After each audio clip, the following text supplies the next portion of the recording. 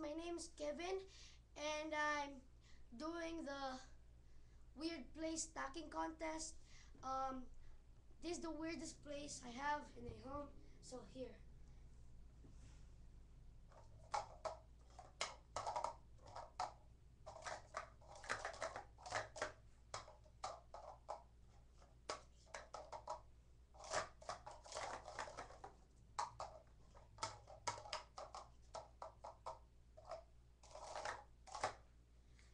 It. So my name is Kevin and wish me luck.